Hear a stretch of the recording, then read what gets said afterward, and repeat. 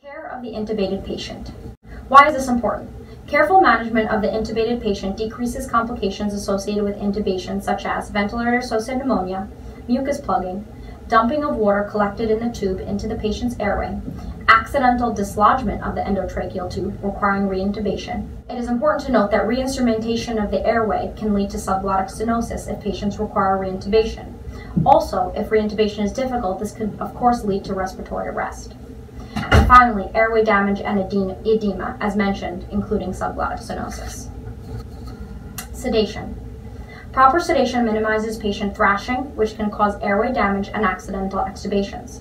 Use of an opioid or benzodiazepine are often adequate choices, although medications are often based on institutional availability.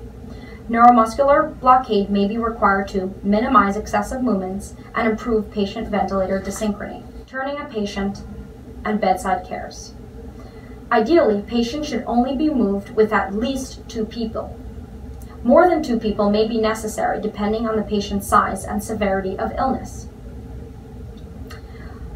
One person should be used to secure the airway and the other person to gently move the patient.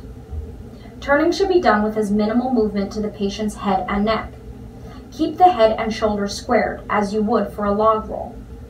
This decreases rubbing of the tube against the airway which can cause long-term damage. Care should be taken to avoid pulling or tension on the tube. Another way to change the linen on an infant is to um, provide support and completely lift the child while someone's stabilizing the ET tube.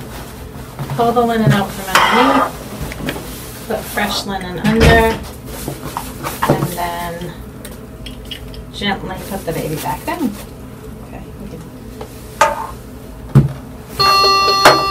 Ensuring the stability of the tube the entire time. In order to make sure there's not too much tension on the tubing, sometimes we put some gauze or some padding underneath the end of the tube. Tubing. Humidification of the ventilator may cause excessive water to build up in the, in the tubing. Accidental dumping of water into the patient's airway can increase risk of ventilator-associated pneumonia, bronchoconstriction and difficulty ventilating the patient, and a noxious feeling to the patient. The end of the endotracheal tube should always be at the highest point of all the tubing. A tube tree holder should be used if available. Suctioning. Patients should be suctioned every two hours and as needed. This prevents mucus plugging, atelectasis, ventilator-associated pneumonia, and desaturation events. Based on the size of the endotracheal tube, suctioning should be done to a predetermined depth to avoid damage to the patient's airway. The tube's been secured. It's time to connect to the ventilator. And it's important that the endotracheal tube be higher than the tubing so that condensation doesn't inadvertently enter the patient's airway where it can cause bronchoconstriction or increase the likelihood of ventilator-associated pneumonia. Now that that's done, we'll suction the airway.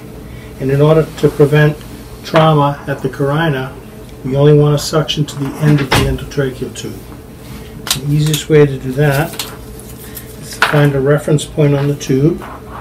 In this case I'm going to use 14. I'm going to measure the distance to the end of the tube, end of the tube, and that's another 5 centimeters. So I want to insert the suction catheter 19 centimeters. That's right here. Insert. 18 centimeters, again the end of the tube. Then, as always, apply intermittent suction, rotating the catheter on the way out for no longer than 10 seconds. Reconnect the patient to the ventilator circuit and ensure proper placement of the tubing.